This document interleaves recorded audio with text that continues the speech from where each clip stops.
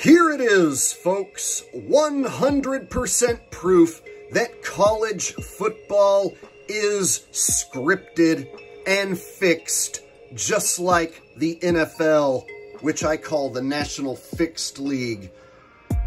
You're not going to be able to deny this, and if you try and deny this, you will look foolish and you will be wrong. Miami up 20 to 17. All they have to do is just kneel on the ball just kneel on the ball, but instead they're going to run a play. Even the announcers are wondering what the hell they're doing.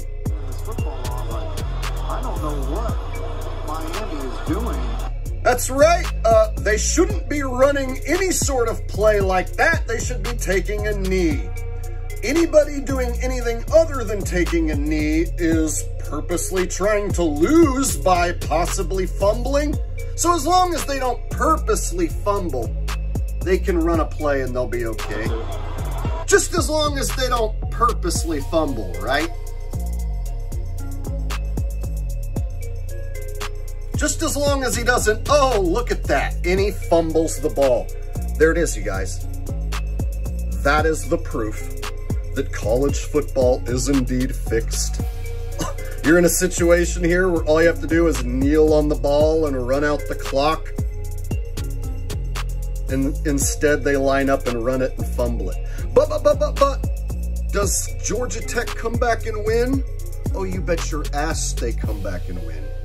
You bet your sweet ass Georgia Tech comes back and wins. And somebody wants to say, oh, no, no, no, no, Jake, it's not rigged. It's not rigged. The, the Miami Hurricanes just made a dumb decision.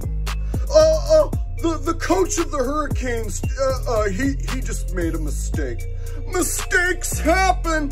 Anyone trying to stick up for this being real football, you will be stuck in a fantasy for your whole life. You will be stuck being a sheeple for your whole life. The only way to find the truth is to admit the truth to yourself. College football is fixed. If there's a betting line on the game, then you better believe it's fixed. 100% proof.